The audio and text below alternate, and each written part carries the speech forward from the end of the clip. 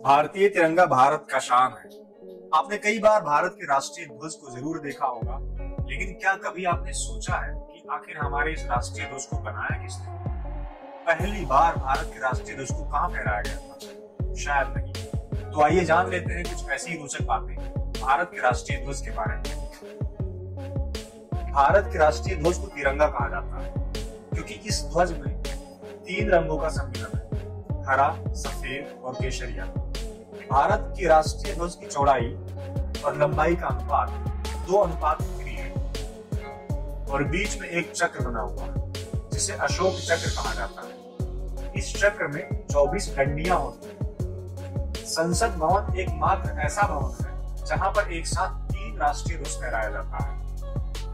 राष्ट्रीय ध्वज हमेशा खादी, कॉटन या सिल्क का बना होना चाहिए। प्लास्टिक का झंडा बनाना गैर कानूनी आज जो हमारे राष्ट्रीय ध्वज को आप देखते हैं इसे पहली बार पंडित जवाहरलाल नेहरू ने 16 अगस्त उन्नीस सैतालीस को लाल किले पर फहराया था। क्या आपको पता है, सन 2002 से पहले भारत की आम जनता के लोग केवल गिने चुने राष्ट्रीय त्योहारों को छोड़कर सार्वजनिक रूप से राष्ट्रीय ध्वज को फहरा नहीं सकते समय के साथ साथ भारत के ध्वज को कई बार बदला गया।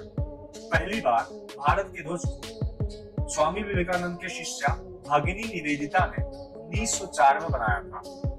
भगिनी निवेदिता द्वारा बनाया गया इस ध्वज को 7 अगस्त 1906 को कलकत्ता के ग्रीन पार्क के कांग्रेस के अधिवेशन के वक्त फहराया गया। भगिनी निवेदिता के इस ध्वज को लाल, पीले और हरे रंग के क्षैतिज पट्टियों से बनाया गया। ऊपर की केसरिया की पट्टी में आठ कमल और नीचे की हरी पट्टी में सूरज और चाँद बनाए गए। बीच में पीली पट्टी पर वंदे मातरम लिखा गया था। द्वितीय बार भारत के ध्वज को पेरिस में मैडम कामा और उनके साथ निर्वासित किए गए कुछ क्रांतिकारियों द्वारा सन 1905 को फहराया गया था। कंफ्यूज मत होइएगा, क्योंकि भगनी निवेदिता ने सन 1904 में भारत के ध्वज का निर्माण किया था, जिसे 1906 में फहराया गया। अभी आप जिस ध्वज को देखते हो, इससे 22 जुलाई उन्नीस को संविधान सभा ने भारत के राष्ट्रीय ध्वज के रूप में अपनाया था। उस समय हमारे ध्वज में गांधी जी का चरखा हुआ करता था। लेकिन 22 जुलाई उन्नीस को इस चरखे को हटाकर अशोक चक्र में सम्मिलित किया गया। नीचे आप उस ध्वज को एक चित्र में देख सकते हो। उस समय इस ध्वज को स्वराज ध्वज कहा जाता था, जिसे आधिकारिक तौर पर 1931 में कांग्रेस द्वारा अपनाया गया था। भारतीय कानून के अनुसार ध्वज को हमेशा गरिमा, निष्ठा और सम्मान के साथ देखना चाहिए। सरकारी नियमों में कहा गया है कि झंडे को स्पर्श कभी कभी ज़मीन पर या पानी के साथ नहीं होना चाहिए। रांची में चार सौ तिरानबे मीटर की ऊंचाई पर देश का सबसे ऊँचा झंडा फहराया जाता है। ये तिरंगा छाछठ फुट ऊँचा और निन्यानवे फुट चौड़ा है। रांची का पहाड़ी मंदिर, भारत का एक अकेला ऐसा मंदिर है जहाँ पर राष्ट्रीय ध्वज को फहराया जाता है। जब तिरंगे का किसी मृत्यु शरीर पर डाला जाता है तो उस तिरंगे को दोबारा नहीं फहराया जाता है। उसके बाद उसे पूर्ण सम्मान के साथ या तो जलाया जाता है, या फिर पत्थर बांधकर जल में प्रवाहित कर दिया जाता है।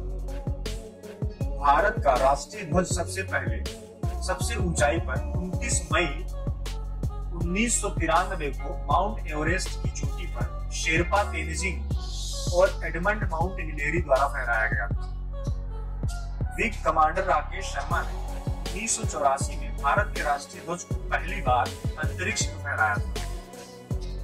किसी भी दूसरे ध्वज को आप राष्ट्रीय ध्वज के ऊपर या फिर बराबर में नहीं फहरा सकते।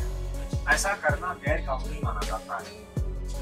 सन 2009 में पहले राष्ट्रीय ध्वज को रात में फहराने की अनुमति नहीं एक कानून ये भी था सन 2005 तक राष्ट्रीय ध्वज को पोशाक के रूप में या वर्दी के रूप में प्रयोग नहीं किया जा सकता था। जब झंडा किसी बंद कमरे में, सार्वजनिक बैठकों में या किसी भी प्रकार के सम्मेलन में प्रदर्शित किया जाता है तो दाई ओर प्रेक्षकों के बाई ओर रखा जाना चाहिए, क्योंकि ये स्थान आधिकारिक होता है। वर्तमान समय में हुगली में स्थित कर्नाटक का खादी ग्रामोद्योग संयुक्त संघ को ही एकमात्र लाइसेंस प्राप्त है, जो झंडा उत्पादन और आपूर्ति करता है। उम्मीद है इस वीडियो से आज आप अपने राष्ट्रीय ध्वज के बारे में ढेर सारी जानकारियाँ धन्यवाद।